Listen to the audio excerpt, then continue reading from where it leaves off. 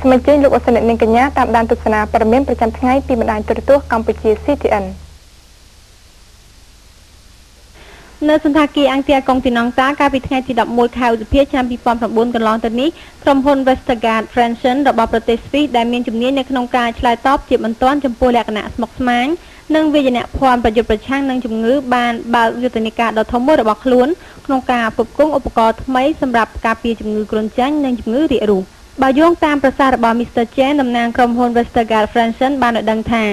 ដើម្បីចូលរួមចំណែកក្នុងការការពារនិងកាត់បន្ថយអត្រាជំងឺគ្រុនចាញ់និងជំងឺផ្សេងៗនៅក្នុងប្រទេសកម្ពុជាក្រុមហ៊ុនបានផ្គត់ផ្គង់ផលិតផលថ្មីចំនួន3ប្រភេទទី1គឺមុងជ្រលក់ថ្នាំសម្រាប់សត្វល្អិត Permanent ដែលមានប្រសិទ្ធភាពការពារមូសនិងសត្វល្អិតផ្សេងទៀតដែលអាចបណ្ដាលឲ្យមានជំងឺគ្រុនចាញ់និងគ្រុនឈាមទី2គឺវាំងននជ្រលក់ថ្នាំដែលមានប្រសិទ្ធភាពការពារទ្វារបង្អួចលោកអ្នកពីសត្វល្អិតគ្រប់ប្រភេទនិងទី3គឺជាឧបករណ៍ចម្រោះទឹក Light Straw ដែលអាចកម្ចាត់ហានិភ័យនៃភាពកខ្វក់ពេលផ្គត់ផ្គង់និងស្តុកទឹកលោកជេនបានបន្តទៀតថាផលិតផលរបស់យើងគឺផ្ដោតសំខាន់ទៅលើការការពារជំងឺឆ្លងដោយសារសត្វល្អិតនិងតាមរយៈការប្រើប្រាស់ទឹកមិនស្អាត។